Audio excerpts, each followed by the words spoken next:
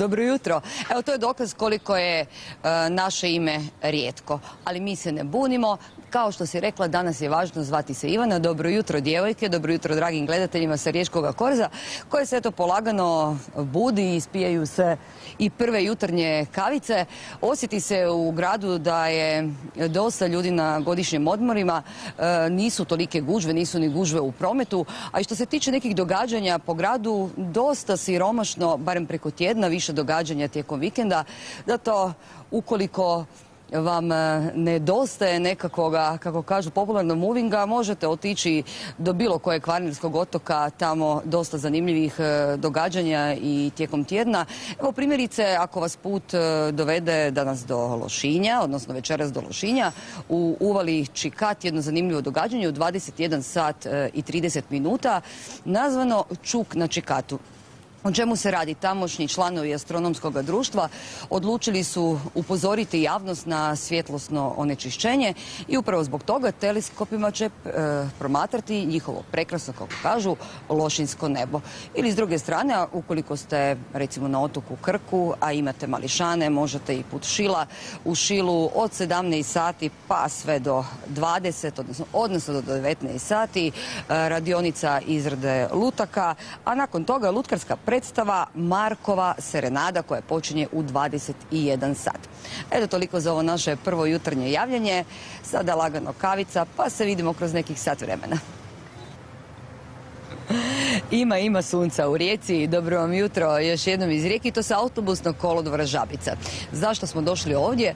Pa eto kako bi vam pokazali nove ideje koje Riječka čistoća već uredno mjesecima i godinama radi. Naime, e, ove prekrasne gredice, cvjetne, e, svake godine, svake sezone imaju neku temu. Primjerice, prošla tema je bila secesija u Rijeci, a sada se hvale industrijskom baštinu.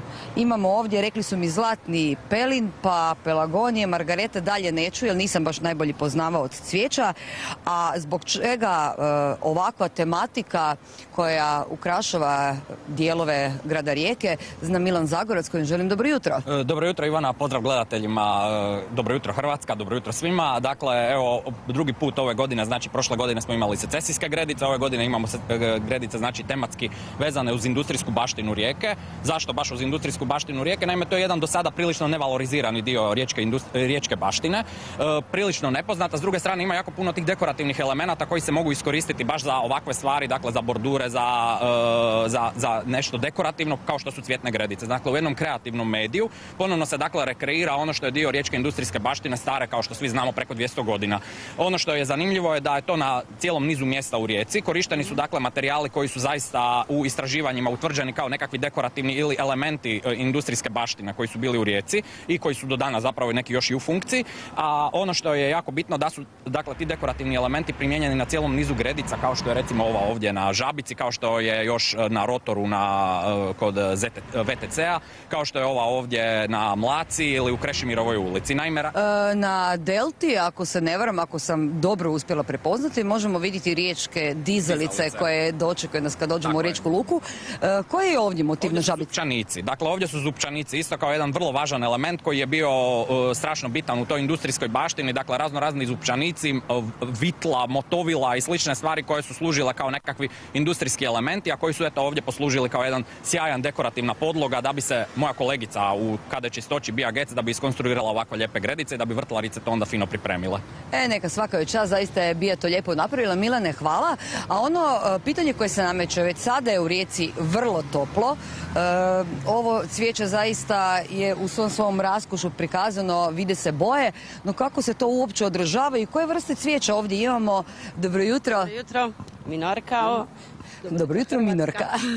E, znači, kako čuvate ovo cvijeće? Vidim djevojke pljeve ovako rano dok još nije toplo, no kako ste uspjeli sačuvati cvijeće? E, cvijeće nam je dosta loše ove godine zbog jako visokih temperatura. Zaljeva se tokom cijele noći, znači rade nam sistemi za navodnjavanje, međutim, u toku dana se nama na gredicama dignu temperatura oko 50 stupnjeva. Znači, ipak je cvijeće malo stradalo, nije kako inače izgleda.